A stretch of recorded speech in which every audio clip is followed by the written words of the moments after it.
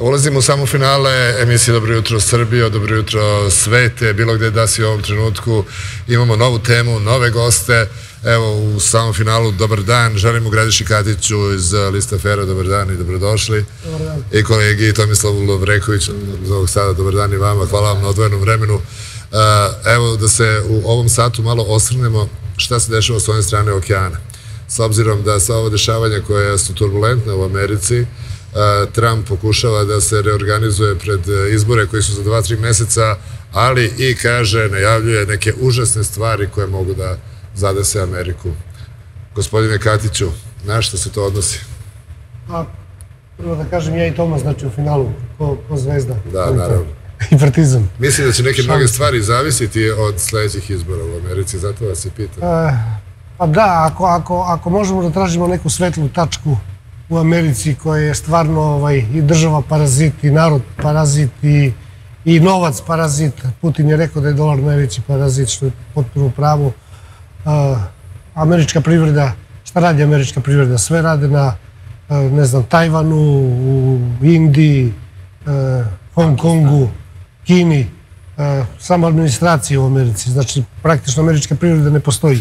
Ako, ako možemo da tražimo neku svetlu tačku, to je Trump koji je pokušao, nažalost, delimično uspešno, više neuspešno, da to nekako re- reorganizuje, da vrati tu privredu i proizvodnju u Americi, da, da dolar postavi na neke, da kažemo, stabilne noge. Međutim, evo vidite kako su reagovali posle četiri godine, e, smenili su ga. Međutim, ja mislim da je ovo ipak vreme, e, tih e, nacionalnih političara, ne globalističkih. I e, što neko reče, e, e, demokrate i Biden kad čuju za Trumpa naježe se. I zato je i ovo sve što se dešava, zato je FBI upada, pokušava da mu pronađu nešto, da podignu optužnicu protiv njega. Ja mislim da od toga neće biti ništa, jer Amerika ipak nije banana država, ipak je to neka, neka sila, iako je u opadanju, još uvijek je sila i još uvijek postoji država. Može se reorganizuje vrlo brzo. A naravno da će od izbora zavisiti mnogo. Gospodine Lovrekoviću, kada pogledamo unazad posljednjih pet predsjednika SAD-a, samo Trump je bio taj koji je bio za neke mirnodopske odnose. Znači jedini koji nije pokrenuo nijedan rat u svetu, za razliku od I izbjegao ostalih. neki koji su mu se nametali u tom Da. momentu. A najveća, zapravo, najveći greh Trumpa je što je pokušao da udari zmiju direktno u glavu. A, I to onako ekspresno, rapidno i oštro, za razliku od svih onih koji su e, toj zmiji tepali, da je njen otrov u stvari lekovit. A koliko lekovit vidjeli smo i mi ovdje na kraju krajeva i, i veliki deo sveta, pa je vidjela i sama Amerika. E, jasno je, što kaže Gradiša, da se naježe kada se spomene ime Donalda Trumpa, jer je on zapravo jedini otpor e, tom kontinuitetu više decenijskom. I ne samo u smislu mirnodopske politike, više na po- pogledu unutrašnjih stvari. Jer Amerika pokušava da prikrije to koliko je trula iznutra zapravo. Počeo od tog dolara koji jeste jedna parazitska i neodrživa valuta, pa preko devastirane privrede, pa preko svega dalje, socijalnih razlika, klasnih razlika, etničkih razlika i svega onoga što, što ih jede i jasno je da će ta duboka država i ti jastrebovi iza, iza kulisa uraditi sve što mogu da, da spreče ne Trumpa da pobedi, nego da učestvuje u trci. Oni čak i ne pokušavaju da ga sapletu, naš, ono, posle 50 metara, pa ajde, pao je, trče malo. Oni pokušavaju da, ga, da, da mu polome noge pre trke. Hoće li to uspeti? Ja se tu slažem sa Gradišem da verujem da je, da je Amerika ipak jedna pravna država u svojoj biti. Ako išta ima, imaju taj pravni sistem. I mislim da ove smicalice ne samo da neće naštetiti Trumpu, nego će se dogoditi nešto drugo, a će dobiti real žrtve. I da će, e, već jeste, produbiti poverenje u republikanskoj, među republikancima, kojima je bilo poljuljano, a sada braniš svoju glavu. Ajde, da će Prosto biti veliki broj razlikama. neopredjeljenih koji će možda preći u republikance. Ali evo da, da Pa dobro, to pogledamo... nekoliko država uvek, e, te neopredeljene države za koje se nikad ne zna za, za koga će glasati, oni uvek njih. odluče. Ali e, vaše pitanje u stvari bilo šta je to strašno, što možda se desi Americi, što je Trump najavio. A, ono što meni sad pada na pamet, šta bi moglo da se desi, to je e, građanski rat u, u samoj. Americi. Crnci, belci, hispanoamerikanci, belci. E, vidimo i Trump je pokušao da zatvori, da, da, da, da podiže te zidove e, kao što, kao što ovi u Palestini i- i jevreji dižu palestincima, tako je on pokušao ovaj, Meksikancima da podigne zid. e, pa su oni onda kopali tu Da ne bude kontraudar, s obzirom da se sjetimo Znači- 99. kada su i Trump i Biden imali, evo da pogledamo prilog odnos prema bombardovanju Jugoslavije 99. Um, but we don't know the nitty. For example, we, you and uh, Kosovo. Would you have done what Clinton did? Well, I would have done it a little bit differently, and I know this would sound terrible, but look at look at the havoc that they've wreaked in Kosovo. I mean, we could say we lost very few people. Of course, we had airplanes 75,000 feet up in the air dropping bombs. But look at what we've done to that land and to those people and the deaths that we've caused. Now, they haven't been caused with us and the Allies because we were way up in the air in planes. But at some point, you had to put troops in so not everybody could go over the borders and everything else. And a lot of people agree with that. Now, would people have been killed? Perhaps, perhaps more. But at least ultimately, you would have had far fewer deaths and you wouldn't have had the havoc and the terror that you've got right now. So, you know, I don't know if they consider that a success because I can't consider it a You don't. success. They bombed the hell out of a country, out of a whole area. Everyone's fleeing in every different way, and nobody knows what's happening. And the deaths are going on by the by the thousands.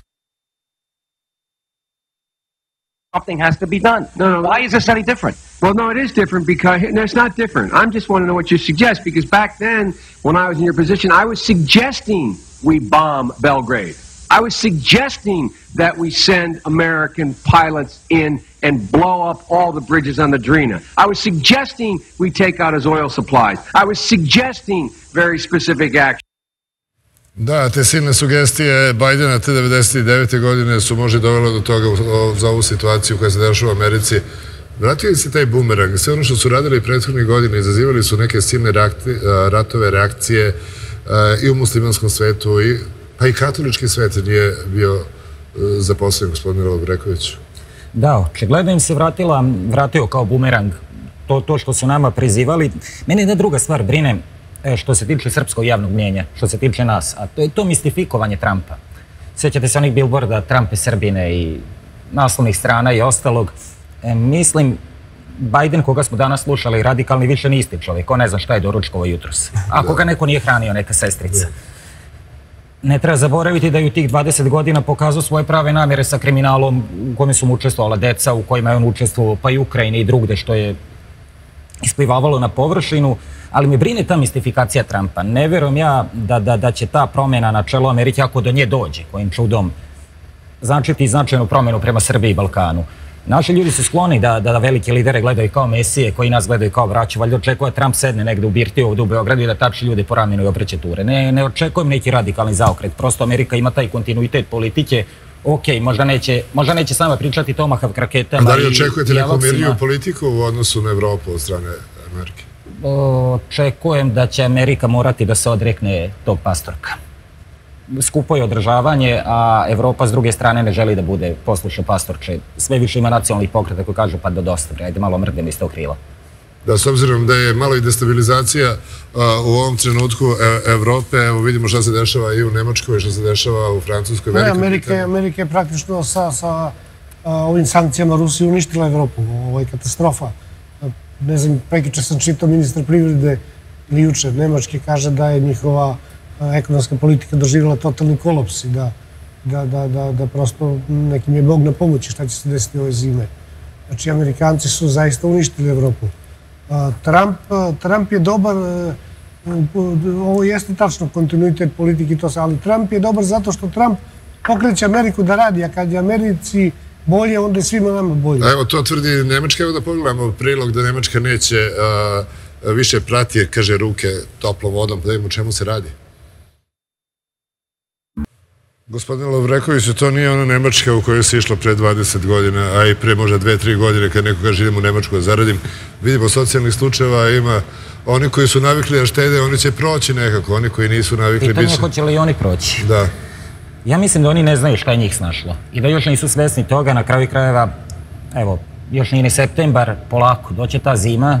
Mislim da ono kroz šta smo mi prošli pre nekih 30 godina, da sad stiže njih, ali oni nisu naviknuti, a prazne rafove, restrikcije, hladne radijatore, otkaze, katance umjesto novih pogona. I u tom kontekstu treba gledati i svi ovi kritičari koji su pametni, stručni i tako dalje, koji se vrte po ovim društvenim mrežama, Treba gledati da je Srbija u sve te kritike na račun predsjednika jedna jedina u Evropi koja je uspjela da ostane samo ogrebana.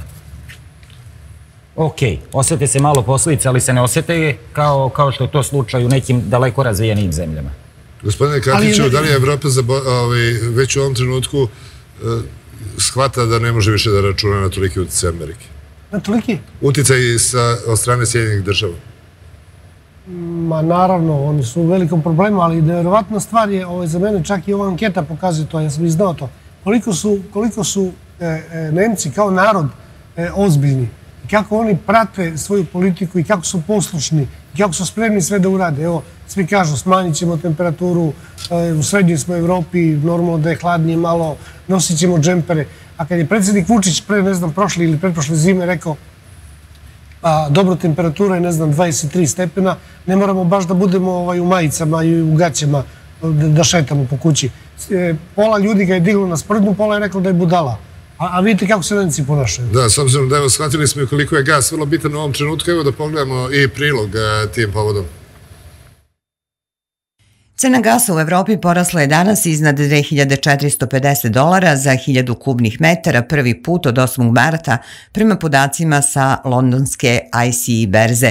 Od početka današnjeg trgovanja cena je skočila za više od 600 prenosi agencija TAS.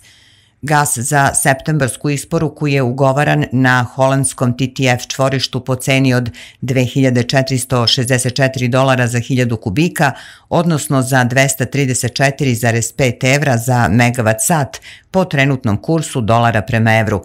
Gazprom je ranije danas saopštio da je njegov izvoz gasa u zemlje van zajednice nezavisnih država pao za 34,7% na 75,3 milijarde kubnih metara u periodu januar-jul 2022.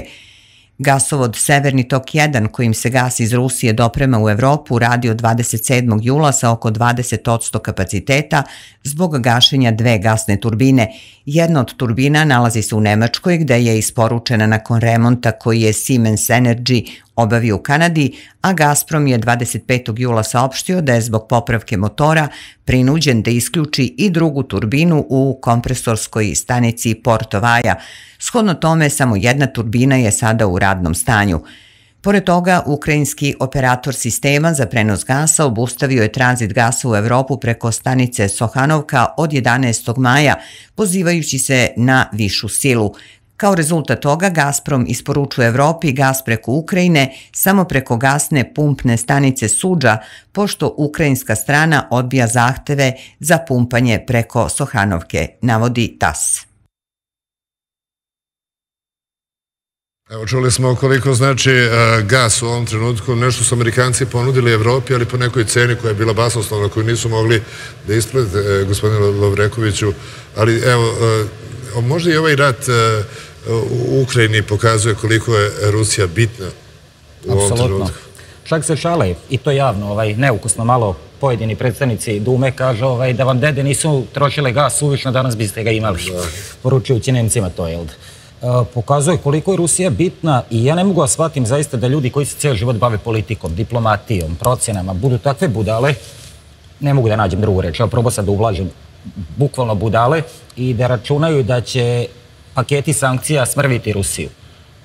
Prvo, to se neće desiti, a drugo, kontraefekat je veoma jasan. Osim ako nije postojala otvorena namera Bajdena o kome pričamo i njegovih jastrebova da žrtvu Evropu kao potpuno nebitno.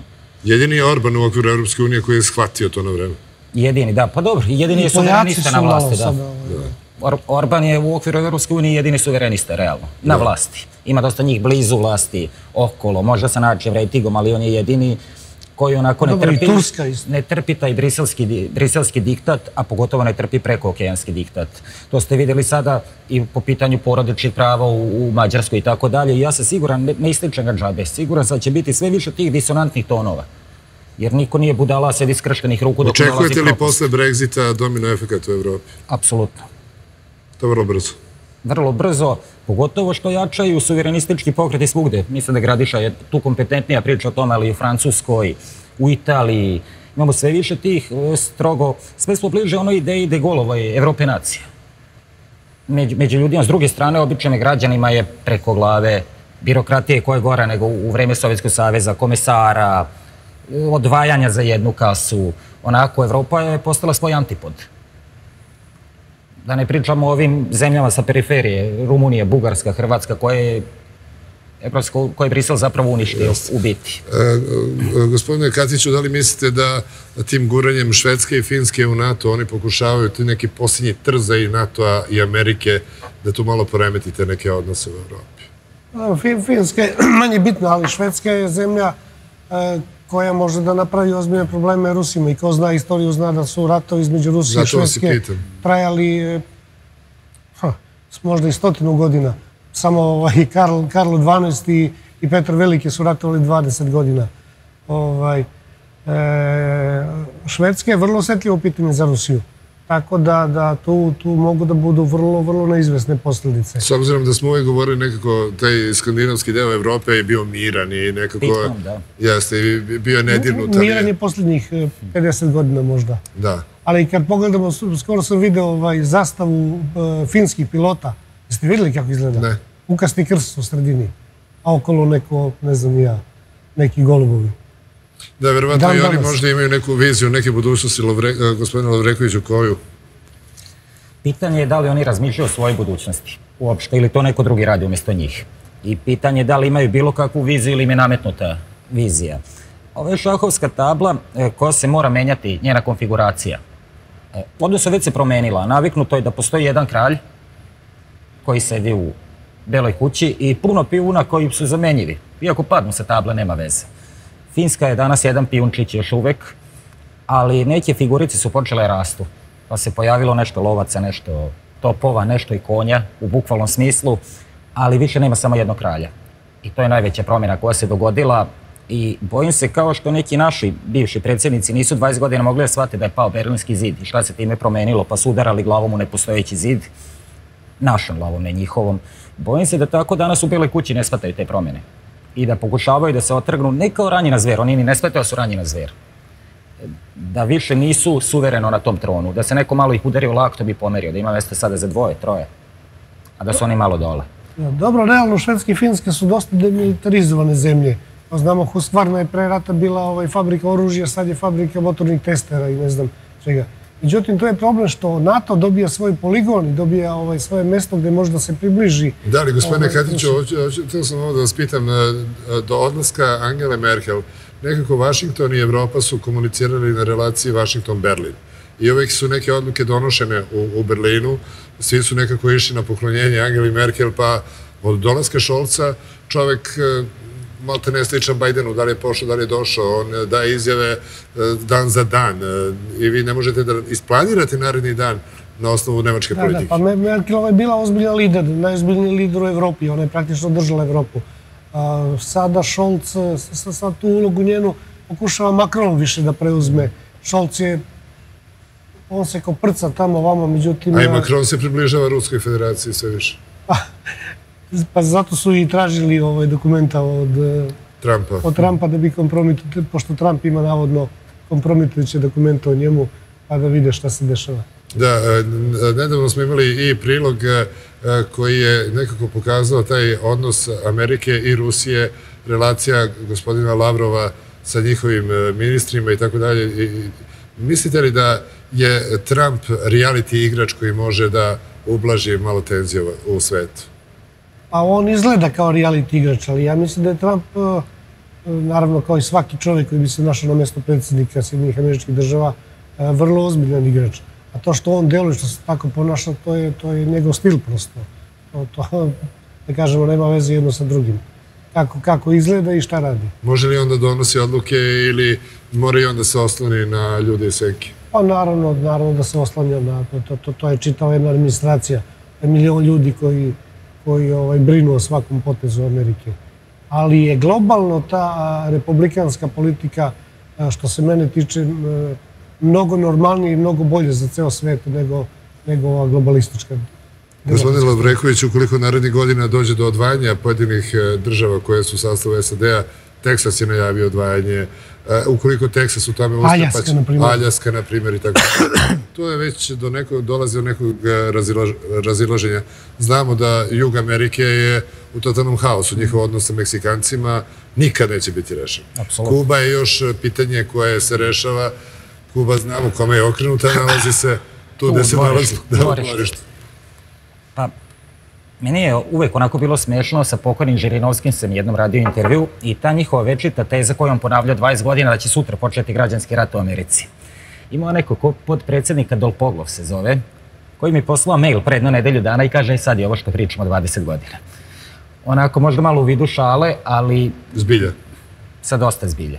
Sa dosta zbilje i ja mislim da će Amerika morati da se okrene unutrašnjim pitanjima. Uvijek je nekako njih bežala s in- tim spoljnim intervencijama. I u smislu mira i puštanje ventila i kase i industrije oružja i svega ostaloga, a sada toga više nema. I ti si to gurao po tepi, gurao po tepi, gurao, a sad se to baš onako izdiglo i pitanje je da li može da se vrati na mesto uopšte. Ja ne radujem se ničijoj nesreći, ali onako mislim da ne bi puno suza puškao za nekim koji je našu decu polivao siromašenim uranijom. I ne samo našu, nego belosvetsku svugde. Delim vaše mišljenje.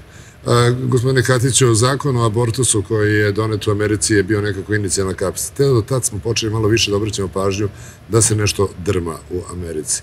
Narod se uzbunio, ali tu još ima i zakona. Sve veći broj beskućnika, sve veći broj ljudi koji, bez obzira koliko Amerika upumpavala te njene dolare, to se ne odražava na, na, na narod koji znamo šta je najbitnije, da se prehranite i da vam je toplo. Pa naravno, Amerika ima milion unutrašnjih problema. Ovaj, ima milione beskućnika. Pa Trump je, Trump je organizovao svoje ljudi iz ove službe bezbednosti koji, koji treba da brinu o njemu, da, da brinu o ovim beskućnicima. Predlago tamo da im na obodima gradova po- postave, ne znam, šatore gde bi oni bili smešteni kako bi sklonili sa ulice i pomogli im da prežive. Ovaj, ta e, masovno ubistvo u Americi, to, to je jedna vrsta, Evo da kažemo, u prikrivenog, da, prikrivenog e, bukvalno građanskog rata. O, Amerika je puna oružja, tamo svaka kuća, svako ima bar po dve, tri vrste ovaj, naoružanja, kod njih je dozvoljeno oružje. Tako da, da to, ovaj, da taj problem visi u vazduhu u svakom trenutku. A ovo što oni rade sa tim ratovima, spoljna politika, to, to je, na primjer, najbolje što se naše branše tiče, Raja Rodić preuzeo tu, tu njihovu politiku. Napraviš veći problem da bi rešio manji problem. Da. A, mi- Otpočneš rat u Afganistanu, u, ne znam, u, u Srbiji, na Kosovu i rešiš ovaj, taj problem kuć, koji imaš kod kuće. Gospodine Dobreković, evo malo da se okrenemo s, s obzirom na a, starostnu strukturu u, u SAD-u, sve preko 80 godina. Pa i Nancy Pelosi koja je napravila ovaj incident na Tajvanu, a, 82 godine. Nije baš od mladosti, Jeste, da. Biden koji da li je pošao ili je došao, to, to ni on sam ne zna. E, I u ovom trenutku vi ne možete da pronađete e, nekoga ko može da e, ih zameni na toj nekoj političkoj sceni. Interesantno je da je Trump pokušao da podmladi tu administraciju o, tokom svog mandata i da je dovodio tu te mlade, mlade lavove, kako se to obično kaže, da žargonski. Međutim, još je interesantnije da skoro niko od njih nije izdržao pritisak do kraja. Ne znam, sećate, taj njegov kabinet je u početku bliže imao desetak imena, je li tako? Pa se do kraja, do kraja sve ona tri, četiri ta startna imena, koja su sa njim ušetala u belu kuću. Očigledno i pritisak duboke države jako veliki i sad, ajde da razmišljamo logički. Ako imaš neko ko je mlad ili zreo, sposoban, kvalitetan, onda ti on nije marioneta. Pa tebi treba Biden da ga probudiš samo pred konferenciju i da se moliš Bogu da se ne uspava te tri minute dok pročita. I da ne medalju na leđe. E, ako može, da. Evo, samo da pogledamo prilog da starci neće u penziju, evo, Ja to miš, je... mislim da je vreme za Kissingera, pošto on ima da. 100 godina sada. Evo, samo pogledamo prilog. Joe Biden, Donald Trump, Nancy Pelosi, Mitch McConnell, najuticajniji političari u Sjedinjenim američkim državama, već su u podmaklim godinama, ali nemaju nameru da prestanu. Mladi osjećaju da njihove muke tu malo ko razume. Pre četiri godine se u američkom senatu dešavao bizaran dijalog. Senator Orrin Hatch iz Jute, koji je umro ovog aprila, tada je bio 84-godišnjak i ispitivao je gazdu Facebooka, Marka Zuckerberga, na saslušanju pred senatom. Kako održavate poslovni model kad mušterije ne plaćaju za vaše usluge, pitao je Hatch. Zuckerberg je morao da mu pojasni ono što zna maltene svako dete. Senatore, prodajemo oglase. Definitivno nam je potreban organ vlasti koji bi predstavljao stanovništvo. Trebaju nam mladi ljudi u vlasti, raznih backgrounda, učitelji, medicinske sestre, a ne uvek jedno te isto, kaže Maxwell Alejandro Frost, demokratski kandidat za kongres sa Floride. Zapravo Frost je taman dovoljno star da uopšte sme da se kandiduje za donji dom. Kandidati za senatore moraju imati najmanje 30 godina. Ali najmoćniji bi mladome Frostu mogli da budu dede ili babe, recimo vodeća dama demokrata Nancy Pelosi, glavni republikanac Mitch McConnell i naravno predsjednik Joe Biden, svi su oko 80 godina stari. O predsjedniku Bidenu i njegovom stanju se dugo spekuliše.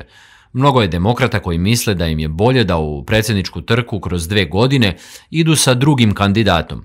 U to ih ubeđuju česti Bidenovi gafovi kada ne može da se priseti reči ili brka pojmove. Nedavno je pao i sa bicikla.